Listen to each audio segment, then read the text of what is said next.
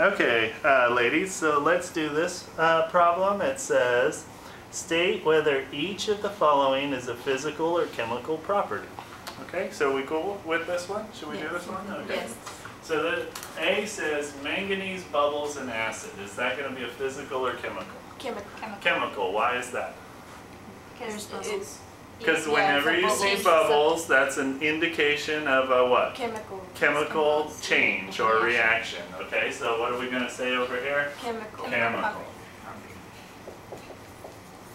Okay. Silver is malleable. What is that? Uh, Physical. Physical, because what does malleable mean? That is. When you can hit it, right? With Yeah, a, right. with a what? A hammer. Hammer and it does what? Kind of It flattens flattens out. Very good. Yes, very good. Okay. So silver is malleable. What is that? A Physical. physical. Okay, wonderful.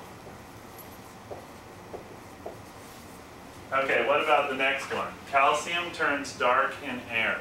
That's a Chemical. chemical. Chemical. Why do you say that? Because it's a change in color. It's a permanent change in color. Okay, so whenever you see that, that's always going to be a chemical change. Okay.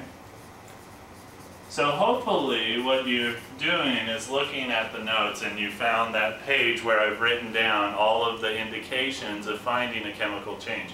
Whenever you, so you're gonna have to memorize that list, uh, or it'd be good for you to memorize that list. So whenever those um, things happen, you can always just put chemical and everything else is gonna be physical, okay? So what about this one? Carbon grinds to a powder.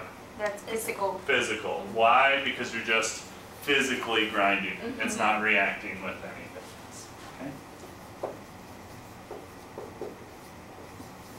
Okay? Okay, any questions on this one, ladies? No. Okay, wonderful. You did very good.